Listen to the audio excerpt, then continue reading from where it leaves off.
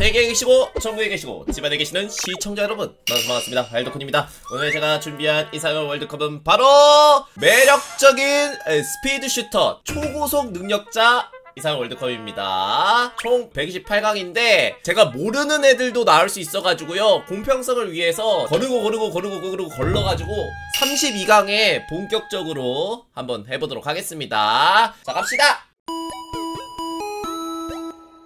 구별을 다 했고요. 자, 첫 번째 대결입니다. Sonic the Hedgehog 대 파워퍼프 걸. 자, Sonic the Hedgehog. 세가의 마스코트 중 하나고요. 다양한 작품들이 나오고 있는데 나올 때마다 아, 우리의 고닉 고닉 하는 그런 불쌍한 밈이 있는 근데 보이는 것과 다르게 나름대로 잘 팔리고 있어요. 상대가 마리오여가지고 비교가 될 뿐 우리 소닉 잘 나가고 있어요 여러분들. 그리고 소닉이 맘만 먹으면은 진짜 몇 초 안에 지구 반대편으로 갈 수 있을 정도의 속도를 아, 안돼! 신나게 떠들고 있었는데 파워퍼프걸이 올라가 버렸네? 아, 이런 식으로 한번 드래그 하다가 아, 죄송합니다. 소닉 팬분들 죄송합니다. 절대 제가 소닉에 대해서 뭐라 하는 게 아니라 소닉이 고닉이 돼버렸다. 아, 그냥 안 건드릴게. 그냥 마우스 놓을게.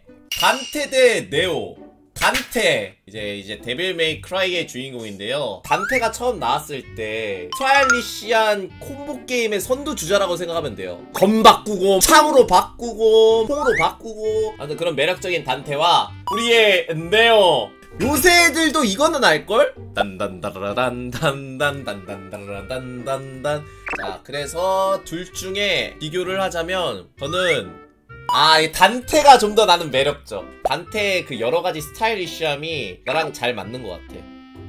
퀵실버 대 마스크. 퀵실버 진짜 굉장히 빠릅니다. 근데 좀 아쉬운 거. 나 총 맞았어요. 아니 스피드 슈터라면 총을 좀 피하라고. 근데 일명 엑스맨 퀵실버는 총알이 발사됐는데 조심스럽게 손가락으로 요렇게 요렇게 요렇게 어 심지어 달리면서 소스를 찍어 먹는 여유까지. 엑스맨 퀵실버가 너무 매력적으로 나와서 마블판 퀵실버는 비교가 될 수밖에 없는 것 같아.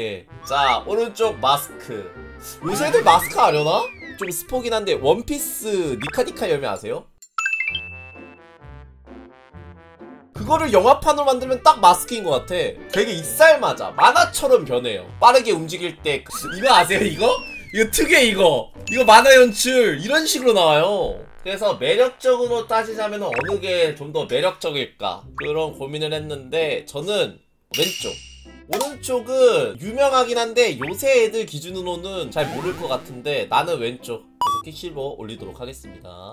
가정교사 히트맨 리본 츠나 대 루비로즈. 필살 염이라는 탄이 있거든? 그 총알을 맞으면은 얘가 이제 냉정해지고 사고 방식이 달라져 굉장히 멋집니다 자 루비로즈 낫을 주축으로 그 낫이 변형이 되어 저격총이 됩니다 그래서 그 저격총을 이용해서 굉장히 빠른 속도로 이동을 하고 각성을 하잖아? 그럼 얘 상태가 이런 식으로 이제 망토를 휘리리 몸을 감싸 약간 뭐 이런 식으로 변해요 진짜 어장 차라리 찾아보자 아마 이 장면일 거예요 내가 말하는 게 뭔 말인지 알 거임. 봐봐, 봐봐, 봐봐, 봐봐! 야, 내가 말한 것과 뭐가 달라, 이게? 내가 진짜 정확하게 설명한 거 아니야? 올챙이처럼 변한다고! 그래서 이 둘 중에 굳이 비교를 하자면, 저는 루비. 왜냐? 이쁘잖아! 아, 이게 필살기가 나와버렸네. 키르아 조르딕부터 설명을 하겠습니다. 이제 헌터 바이 헌터에서 최고 인기캐를 상징하는 캐릭터고요. 그리고 아직도 기억난다. 내 심장 돌려줘!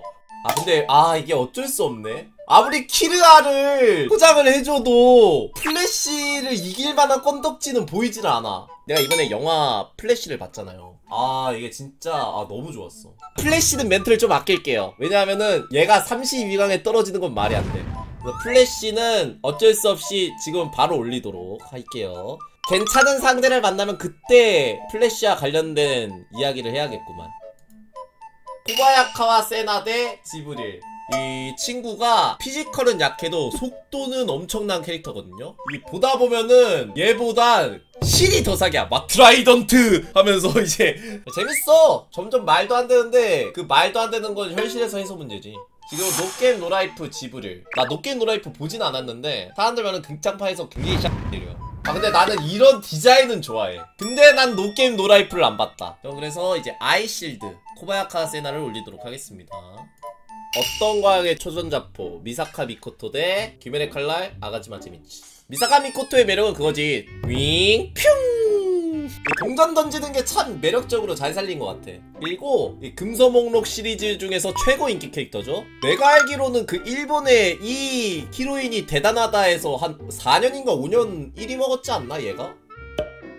아 9연속? 야 라노벨 캐릭터가 9연속 1위 먹을 수가 있냐? 근데 상대가 제니치네요. 솔직히 말할게요. 카미나리노 고큐 이치노카타 원투림 근데 그 원툴이 존나 멋있음. 아 근데 진짜 낭만 있어요. 여러가지를 배울 수 없는 재능이야. 스승님 저는 능력도 없나봐요 하는데 아니야 제니치 너만의 길을 가거라. 하나만 극한으로 하거라 근데 그 극한으로 갈고 닦은 게 자기만의 길을 개척할 수 있는 형이 나오니까 아 이게 참 낭만이 있어요. 아 나 미코토 좋아하긴 한데 나 솔직히 말하면 제니츠. 초고속 능력의 매력을 잘 살린 예시인 것 같아 닥터우의 우는 천사 대 롱맨 시리즈 퀵맨. 퀵맨 이 녀석 솔직히 기억에 잘 안 남아요. 그리고 퀵맨 쉬웠던 것 같은데? 말이 퀵맨이지 그냥 그런 녀석인데 아 이 우는 천사. 얘를 관측하면은 움직이지 않는데 얘를 관측하지 않는 순간 얘가 다가와요. 그러면서 그 사람을 시간 이동을 보내요. 그 사람의 시간선을 빼먹는다고 생각하면 돼. 그 우는 천사는 무서워 그냥. 얘 점점 다가오잖아? 마귀마냥 변해요. 자 그렇게 해서 저는 우는 천사 올리도록 할게요. 진모리 대 메이드 인 헤븐. 이 친구로 말씀드릴 것 같으면 이게 제천대성이죠? 그 와일드쿤이 말하길 그냥 제천대성으로 처음 각성하는 부분만 봐라. 세계편은 보지 마라. 난 세계편 보다가 개같이 후회했다. 드디어 나왔군요. 메이드 인 헤븐. 주인공도 못한 3단 각성을 빌런이 하네. 아니 빌런이 3단 각성 이거 참을 수 있나요? 메이드 인 헤븐의 능력을 말씀드리자면은 시간을 가속한다라는 말 그대로의 의미입니다. 그러니까 존나 말도 안 돼요. 그래서 메이드 인 헤븐은 연출이 너무 좋습니다. 그래서 저는 굳이 두 개를 비교하자면 저는 메이드 인 헤븐을 올리도록 하겠습니다. 볼사리노 대 살생님 자 볼사리노 원피스 빛빛 열매의 능력자이자 짱구는 못 말려 원장 선생님이신 애초에 빛이라는 능력 자체가 개사기야. 근데 뭔가 나타날 때마다 1인분은 했어. 그러니까 욕을 잘 안 먹는다고 해야 되나? 아카이누는 이제 에이스 죽여가지고 욕도 먹지만은 내가 만약에 해군이었잖아? 키자루는 어떻게든 친하게 지낼 수 있을 것 같아. 그리고 살생님 죄송합니다. 솔직히 난 이런 캐릭터가 어떻게 인기 있을까 싶었는데 아 인기 있을만 하더라고요. 진짜 살생님 스토리에겐 감동이 있다. 좋아하는 여인을 위해서 그 여인의 소망을 이루어지기 위해 선생이 된 건데 그리고 유일하게 살생님이 화내는 일 학생들에게 피해가는 일. 왜냐면 나기사가 그 살생님 전용 폭탄 끌어안고 터트리려고 했는데 그거 자기 비늘막으로 보호해주잖아. 그거 보고 개분노해가지고 그래서 그지그지 비교를 하자면요. 살생님도 빠르긴 한데 전 퀴자루 빛빛 열매가 너무 매력적이야. 16강전 트레이서 대 우는 천사.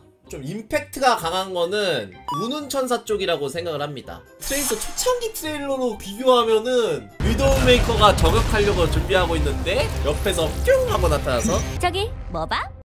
아 뭐장 파인애플 피자요? 자 우는 천사 올리겠습니다.